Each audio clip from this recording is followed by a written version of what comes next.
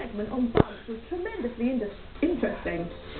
I myself am an amateur bugologist. Wow. Um, I also sometimes like to include bugs in my use of endoscopy equipment.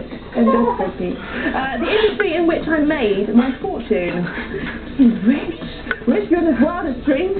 Well, hello, the bugs make tiny thrills. Make many thrills, even. Thanking you in advance, Gustav. A bugologist, eh? None of know what endoscopy is. Bugologist opinion.